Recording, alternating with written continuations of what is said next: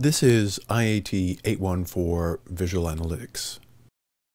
The next segment that uh, we'd like to talk about is a, a, a brief history of uh, visualization and visual analytics. But first, one of the things I'd like to talk about is that there are a number of ways to think uh, about visualization. And what I'm showing here is a number of fields that um, members of whom experts in from, say, computer science, psychology, design, and art have something to say and something to investigate with respect to the use and deployment of visualization. The first one listed here is computer science. And what computer science scientists tend to be interested in is computer graphics and user interface design, concerned with presenting data to users by means of images, basically what the topic of the course is about. And the kind of thing that computer scientists are interested in doing is, among other things, creating tools or methods for generating uh, images from multidimensional data. It's um, computer scientists focus on the techniques developing, designing, improving the techniques for generating images on, say, multidimensional data uh, using the computer, as you might expect. The next thing listed here is psychology, and what we're uh, psychologists are interested in in the domain of visualization is the formation of mental visual images and the way in which our perception and cognition interact and hopefully improve uh, when uh, people are attempting to do visual anal anal visual analysis by the use of uh, visual imagery such as visualizations. And so really psychologists are interested in the act of interpreting in visual terms and are studying perception and cognition as a means to get there. From the design perspective, what uh, design is about is the pr process of putting into visual form um, various artifacts and uh, ways of understanding the world. And uh, it's the practice of assembling images that clearly communicate in a culturally relevant manner. So the expertise that designers are bringing to bear is a little bit different from computing. At SIAT, we're doing uh, quite a uh, you know a mix of these things. Um, designers, however, are in, overtly trained in the aspects of uh, cultural valence of the, the, the work that they're doing. Finally, the, on this list, uh, we have art where visualization can be considered as a medium uh, and representations or data are used to create art and to provoke and invoke feelings about the underlying uh, data or perhaps the uh, data plus the visualization put together. So those four perspectives, it's not, those are of course not the only ones you could imagine taking, are uh, going to inform us throughout um, the term or throughout the uh, progress through the course IAT 355. So now let's talk briefly about um, the history of visualization. Um, it turns out that uh, people have doing, been doing geographic visualizations for a long time. It's not necessarily the case that I have dug, dug up the oldest possible map ever known, um, but this thing I'm showing you here is called Tabula Peutingeriana, it's a lengthy mouthful of a name, uh, mainly named that because uh, a guy named Peutinger in Austria uh, had the, uh, the, a copy of this 22 foot long um, scroll on parchment that depicted the Roman Empire um, of, uh, in classical times of about uh, AD um, 32 or something like that. The map that we're seeing here is actually uh, a reworking of this um, uh, this this scroll, in particular, the, uh, the, what we're seeing here in the upper part. This is Britain, Britannia, as you can see here. There's Ireland, and this is Spain and Portugal over here, and Morocco. Uh, and here's the Mediterranean, and Ibiza is in here somewhere. Um, the thing that's interesting about this map is that it is uh, from the perspective of the actual shape of the geography, it's very much distorted. And the reason why it's distorted, of course, is so that it can fit on a scroll. This map continues to extend off to the right all the way uh, to Arabia, and actually it has India in the far uh, right end of the map. And you can find that online on the Wikipedia page. The reason for the distortion is, to, of course, to fit the physical medium that it's drawn on. And also, it's a recognition that uh, uh, of the primary use of this thing is to um, uh, create itineraries for people traveling from city to city along the Roman roads. And so what you see here, this is a city called Tarragona in uh, west uh, eastern Spain, uh, and this is roughly Seville. And these are the stops that you could take along the road going from Tarragona to Seville. Um, and uh, Barcelona is here. It's actually a small, a small stop at this time, whereas Tarragona is a bigger city. Um, and basically, what's of interest to the Roman traveler is what are the stops along the way? What's the itinerary going to look like as you travel from place to place? And uh, modern subway maps uh, adopt the same insight in that it, the geographic veracity is useful, but it's not the central thing of interest. You're interested in what are the stops along the way, and this is an, an, an ancient example.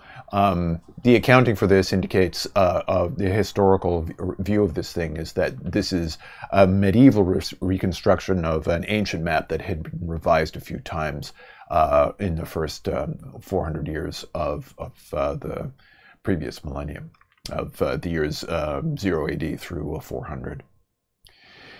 Um, another visualization that I, I'm sure you'll be uh, interested in, and this is a uh, called Nightingale's coxcomb because it looks vaguely like uh, uh, a coxcomb, um, the head of a chicken, but what it is, it's a radial map that illustrates the change in mortality in hospitals that were being run by Florence Nightingale during the Crimean War. And uh, the um, you know, sort of mortality in hospitals was sort of at the same level as uh, British cities, and that's what this inner circle here is intended to illustrate. Uh, and then as people got injured and started showing up, the death rate in those hospitals increased very, very significantly, as and you can see that here. The area of this segment is indicates the number of deaths per thousand, and it's very, very significant. And one of the uh, innovations that uh, Florence Nightingale brought to bear was this thing that she says here, which is the uh, commencement of sanitary improvements. That's what it says in her script here. Um, she introduced various sanitation measures, and that very, very significantly impacted uh, the prognosis of all the people who were staying in the hospital, and it dropped the death rate very significantly, as you can see. So th- you're intended to read this thing clockwise. Death rates are high. Uh, she introduces sanitary improvements, and death rates fall very significantly it's a very strong indication of uh, the importance of sanitation and you know uh, clean hospitals, which was a new idea at the time in the mid uh, 1850s. Here's another famous 19th uh, century um, illustration uh, visualization. This is uh, Minard's famous illustration done in 1869 of um, Napoleon's invasion of Russia. Um, here, Napoleon invaded Russia with, uh, in, according to the map, 422,000 uh, 422,000 uh, men, and uh, this is roughly in uh, Lithuania, uh, where he started in roughly eastern Poland. He marched towards Moscow, and what was happening is that the Russians were harassing his army and then retreating, harassing and retreating until he gets to Moscow in September and then winter starts to set in very early, and Napoleon has to travel back. And the uh, outcome of this is that Napoleon invaded with 422,000 men and returned with 10,000 men. Very, very significant um, uh, impact on the size of the army, and it had a huge impact on the French Empire of the time uh, in 1812 and 13. The thing at the bottom is a very interesting uh, uh, parallel display. It's an indicator of the temperature uh, at key time points on the way back. Um, so temperature got temperatures got to minus 30 Celsius um, as he was traveling back from from Russia through uh, Western Russia and Poland and so on and so forth. So a very significant military disaster that had significant uh, political Im- implications, and the map really depicts it, and it also depicts the key factor as to why. Here's another uh, 1854 uh, map. This one is also about disease. In this case, this is about a cholera epidemic that uh, was causing a lot of deaths in London. And John Snow was pursuing what it was a radical idea at the time called the germ theory of uh, disease, and that is to say, disease being caused by small organisms that people ingest. Um, and uh, one of the things he was interested in is he, as many others, noticed that cholera seemed to be very localized. You would be there would be a neighborhood where cholera was, and outside that neighborhood there weren't many people with cholera. And what he did is he took a map and mapped the location of people dying, and he noticed that kind of at the center of the map, uh, the highest rate of death indicated by that circle there. Um, there, uh, he started asking. What he did is he started asking around, and he had this idea of asking what, you know, what air do you, you know, what air do you breathe? Where do you get your food? Where do you get your water? And it turns out it's not visible in this particular blow up, but many of the people in this neighborhood got water from a single pump uh, because you know there wasn't running water uh, piped in automatically um, that was located there. And the reason why they got water from there is the water tasted good. So he did something radical and uh, very unpopular at the time is he took the handle off of the water pump. And the outcome was cholera deaths decreased very significantly immediately thereafter. Um, not overnight, but within the week. So this was a, a, a, key element in the discovery of the, and confirmation of the germ uh, theory of disease. And Florence Nightingale's thing is also an example of pursuing a theory of uh, germ theory of disease uh, and doing things to combat it. Um, I had spoken earlier with the uh, Roman map about uh, the use of geographic distortion. Uh, here's a visualization of the actual geography of London's Underground in 1927, and this thing was an actual map used by the London Underground system at that time. Uh, but one of the things that is a problem with this map is, is that it's a little hard to use. And part of the reason why it's hard to use is that, as you can see, there's a high density of stations here in the central London area uh, because there's lots of uh, people wanting to travel into the central business district, as it were.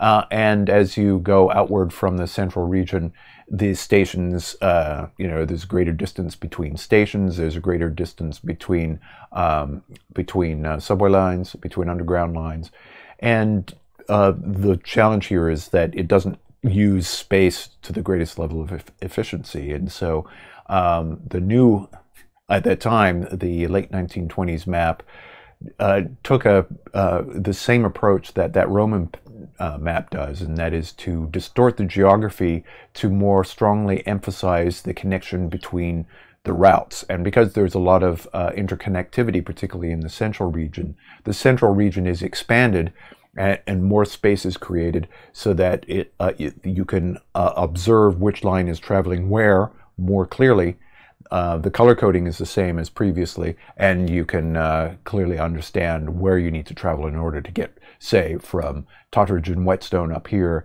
down to Elephant and Castle, or from there to Kensington, High, High Street, Kensington. Um, so in any case, you, you, know you know where you want are, and you know where you want to go. Um, and planning in a map like this is a little bit easier than in the previous thing, simply because there's enough space for you to be able to see where it is you get to change trains. Um, part of the techniques here is to eliminate unnecessary detail. In this case, the sort of the real geography, and inset of which is shown on the right, is is reformulated and distorted to show uh, lines only on horizontal, uh, vertical, and 45 degree se segments. And the key insight, of course, is that topology and relative locations of stations is more important uh, than the details of where uh, the stations are geographically. So the reasons why we use visualization are to do one of three possible things. First is to explain. You want to communicate the result of a previously completed analysis. And those map displays, uh, most of those displays that we've shown previously, the Nightingale's Coxcomb, the, uh, the, the um, cholera map, um, the London Underground map, their primary job uh, is to explain uh, something real. Um, uh, the, the germ theory and the impact of sanitary um, uh, activities uh, in, in uh, Nightingale's case, um, and you know, sort of geographic layout simplified so that you can make your train underground train connection. Second is something that we do spend a bit of time concentrating in the course is to analyze. You want to explore the data to understand and guide subsequent analysis. And in fact, you'd like to be able to use the system, as we said in the previous segment, uh, the uh, visualization system to analyze and continue and refine your analysis and extend your analysis within a tool. And that's something that we talk about uh, in, throughout the course. And finally, to inspire, you want to engage and motivate or perhaps disturb some people to get the message across. And um, uh, each of these things has their own kind of lens by which you want to view things. You would imagine that uh, uh, art and design might be focused a little bit more on inspiring, uh, whereas computing uh, folks might be focusing on analysis. Okay. So speaking of uh, explaining, uh, I'll briefly take you through a little bit of a case study of uh, the Challenger disaster. So uh, in, uh, I think it was 1984, uh, the space shuttle uh, Challenger took off, lifted off in January, and exploded about a minute and a half into the launch.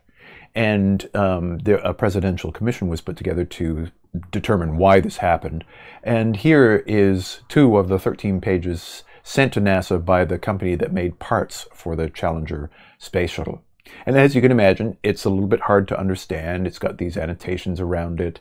Uh, it has these, uh, you know, tables of numbers. It's a little bit, a little bit uh, hard to understand. So one of the things that um, was hoped to improve it is that uh, the people, uh, Morton Thiokol, who uh, had a hand in developing the booster rockets shown here in schematic form, uh, put together a history of O-ring damage uh, to um, to the uh, the booster rockets, and they also plotted the temperature of the launch. So here we see a display that's intended to be read left to right, one, two, three, etc., up to 24, uh, and um, what kind of damage had occurred to the solid uh, solid fuel uh, booster rockets.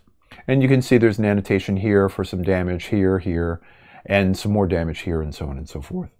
The problem with this display is, as uh, Edward Tufte says, that this is uh, uh, this display has a lot of information that's a little bit redundant. The, there's a, a, repetition over and over of the outline of the rocket and the sort of the geometry of the rocket, but that doesn't really help uh, the viewer, the uh, the user of this display, gain an understanding of whether there's a relationship between temperature or anything else with respect to the rocket. And that's something, this uh, uh, use and reuse of the rocket booster outline is what Tufte calls chart junk. Um, what's really important is to gain an understanding of the relationships between the various factors and the kind of the rocket images get in the way of that. Here, instead, is a better and more understandable plot that really gets at the factors that um, that you know had a, a, an influence and in fact a causative factor to the disaster.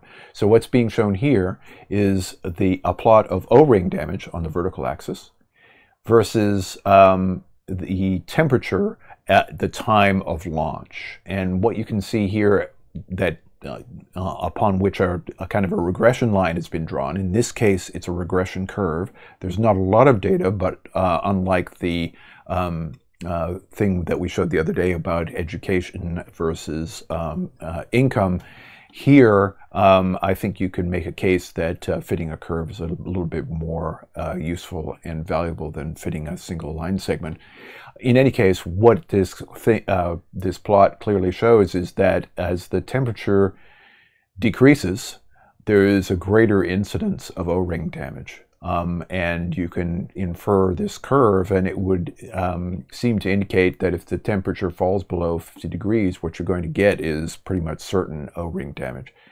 The Challenger was launched in uh, January 1986. The ambient air temperature at the time was uh, below freezing, and as a result, um, the Challenger blew up.